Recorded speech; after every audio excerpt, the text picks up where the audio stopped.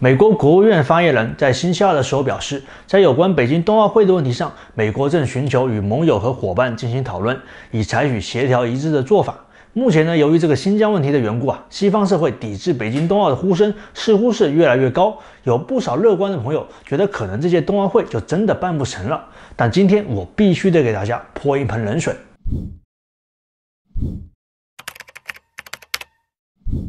其实你说从能力上看，西方国家能不能抵制成功呢？我觉得他们如果下定决心要做，那可以说是不费吹灰之力啊。因为这个冬奥会它的性质和夏季奥运会不一样，冬奥呢就是一个纯西方国家的运动会，最好的运动员、最好的设备、最好的场地全部都在西方。滑雪界的另一个世界级的赛事 FIS 世界高山滑雪世界杯，自有史以来所有的冠军均来自于西方国家。中国滑雪队常年的训练基地也不是在崇礼，而是在奥地利的因斯布鲁克。冬奥会啊，如果大部分的西方国家不来，那就压根不用玩了，因为你压根没办法让那些非洲的大兄弟给你撑场面嘛。你让谭书记给你划个超级大回旋，他也做不到啊。他也不是有没有运动员、有没有代表团的问题，他是有没有雪的问题啊。真要抵制的话呢，那这个新闻的标题可能就是俄罗斯或成为最大赢家，将包揽北京冬奥所有的金牌。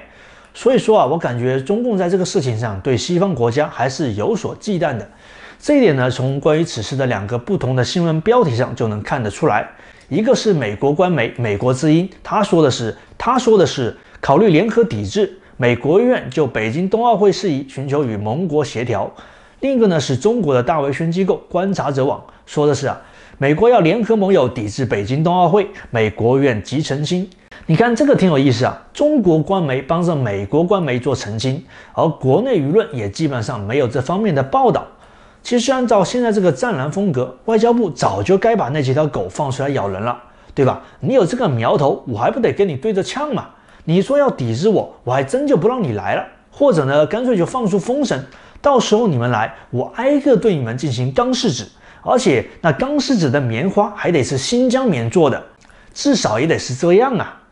那咱们既然讲到了对冬奥会的抵制，那就不得不提一九三六年的柏林奥运会了。事实上，一九三六年之前，纳粹德国呢就因为它的种族压迫政策和侵略扩张行为，已经在国际社会上是声名狼藉了。而且在一九三六年，还有一件更大的事情爆发，那就是西班牙内战。冬奥会呢是八月份开幕的，而在一个月之前，希特勒接见了佛朗哥的特使，并当即做出了干涉西班牙内战的决定，其狼子野心呐可谓是昭然若揭。不过呢，这个时候希特勒并不打算跟国际社会彻底翻脸，当然啦，不是因为他觉得这个奥运会有多么的重要，而是因为举办这样一场万国来朝的大型活动，是为他掌权四年以来的一次绝佳的宣传机会。我一直都说啊，对于集权国家，面子始终是第一位的。什么国际舆论、什么经济利益、什么政治原则，都得靠边站。那么，为了实现这一次的万国来朝，希特勒是做了很多的妥协与让步的。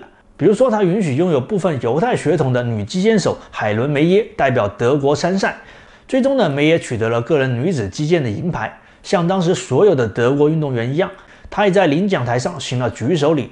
最终呢，包括梅耶在内，共有九位犹太裔运动员在本届奥运会上获得了奖牌。对于前来观赛的各国普通游客，纳粹当局也是极尽隆宠，提前就撤下了原本遍布街头的反犹标语，并且呢还下令，德国反同性恋的法律将不适用于外国游客。希特勒呢还邀请到了自己的好友，同时也是著名导演的 Lili l i f e n s t a l 来拍摄奥运会的纪录片。最终，纳粹德国取得了这波宣传攻势的彻底胜利。德国运动员也斩获了大多数的奖牌，而纳粹当局的热情款待、有序的组织能力，更是赢得了到访者的一致赞美。比如当时的《纽约时报》就报道称，本届奥运会之后，德国重回国际大家庭的怀抱，而奥运会更使得德国重现人性本色。当时的国际舆论风向被彻底的扭转，很多人认为这样的和平会一直持续下去。Too simple。最令人感到讽刺的是啊，奥运会结束后仅两天。有犹太血统的奥运村主席福尔斯特纳便自杀身亡了。那之后的欧洲发生了什么事情，就不用我多做介绍了。其实当时的国际社会呢，也不能说是完全没有抵制。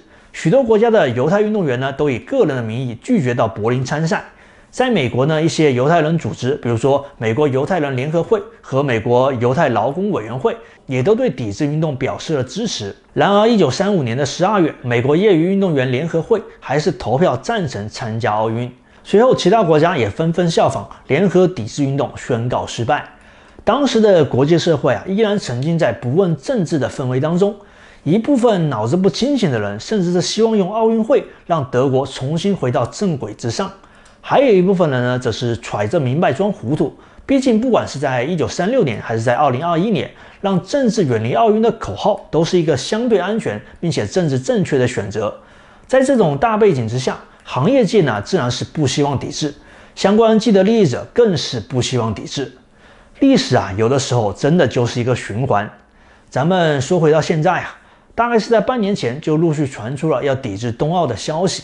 那我个人的判断是啊，最终国际联合抵制是不太可能会发生的，因为这里面涉及到太多的利益方，尤其是这些作为冬季运动主力的欧洲国家是最不希望抵制的。就拿这次冬奥会的设备供应方来说吧，造雪机、缆车、雪场照明、雪道设计乃至人员培训，均来自于意大利、德国、瑞士等欧洲国家。其中在冬奥场馆的造雪设备这一块，就是由意大利天冰集团全权承包的。而且冬奥会所带动的整个中国冬季运动的市场，那更是一个极具想象力的超级市场。这里面，比如说雪板、雪具啊、滑雪服啊、将来的滑雪旅游等项目，在中国也基本上是一个空白。那这些呢，在欧洲人的眼里看来，那可是一个非常能挣钱的大肥肉。而且这块肥肉，他们已经咬了一半在口里了，那已经是满嘴流油啊。这个时候想让人吐出来，怕是比较困难了。再者呢，这个操作时间似乎也不太够。冬奥会是明年二月四日就要开幕嘛？那现在呢，已经是北半球在开幕前的最后一个雪季了。各国的教练和运动员基本上都已经准备的差不多了。西方的政治人物呢，又是不可能强制要求他们不能去的。所以，综上所述，我对抵制能否成功是持一个悲观态度的。但是呢，这并不意味着它就没有操作的空间了。就目前的这个氛围来看。各国领导人缺席开幕式，应该是大概率会发生的了。零八年的时候，小布什是拖家带口的去了。明年看起来，拜登呢是不至于拖着亨特拜登一起去的，毕竟人家小拜登的中国事务应该是比他爸更熟悉的。此外，运动员个人也是有很多的行动可以做的，比如说你在胸前绣一个抵制新疆棉，或者是领奖的时候比一个三指手势，也不是不可能的。而且这些呢，他确实是拿你没有办法的。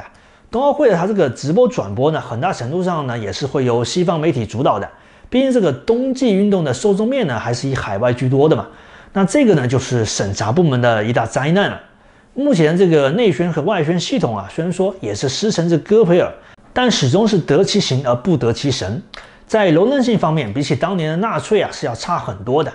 之后啊会不会爆出什么大瓜，咱们就拭目以待吧。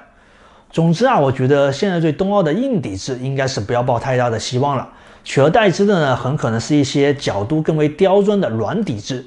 不过我得声明呢，以上的观点只局限于当下的形势。大家都知道啊，咱们现在这个车速呢是没有最快，只有更快。以后会不会打脸，我还真的不好说。如果有，那就请给我狠狠的打。